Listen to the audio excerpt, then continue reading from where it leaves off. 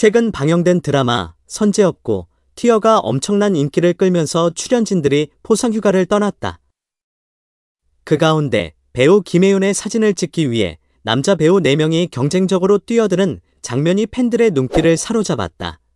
김혜윤은 지난 21일 자신의 인스타그램에 포토바이 마지막 장에 나오시는 모든 분들 모두들 고마워라며 푸켓 포상휴가 때 찍은 사진들을 공개했다. 사진 속에서 김혜윤은 해변에 설치된 그네를 타며 다양한 포즈를 취하고 있었고 그녀의 아름다운 모습이 돋보였다. 특히 푸른 하늘과 바다를 배경으로 한 김혜윤의 미소는 보는 이들로 하여금 휴가의 행복한 순간을 함께 느끼게 했다. 또한 드라마 선제였고 티어에 출연한 문시온, 송건희, 양혁, 허영규 등 4명의 남자 배우들이 김혜윤을 찍기 위해 열심히 카메라 셔터를 누르는 모습이 담긴 사진도 있었다. 이 사진은 마치 프로 사진가들처럼 진지하게 촬영에 임하는 남자 배우들의 모습과 그런 그들을 바라보며 미소 짓는 김혜윤의 표정이 웃음을 자아냈다. 특히 허영규는 4명이 합쳐서 우석이 빈자리 채움이라고 코멘트를 남기며 촬영에 임한 이유를 설명했다.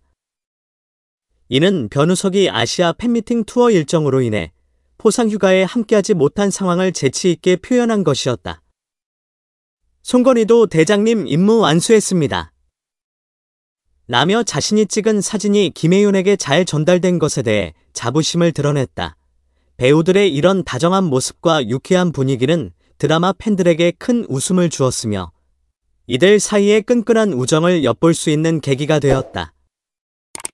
김혜윤과 함께한 푸켓에서의 소중한 순간들이 사진을 통해 공유되면서 팬들은 배우들의 일상 속 친근한 모습을 더욱 사랑하게 되었다. 선제 없고 티어가 끝난 이후에도 배우들의 돈독한 관계는 계속될 것으로 보이며 이들의 다음 작품에서도 좋은 호흡을 기대하게 만드는 부분이다. 포상 휴가를 통해 한층 더 가까워진 배우들은 앞으로도 더 많은 재미와 감동을 선사할 것이다.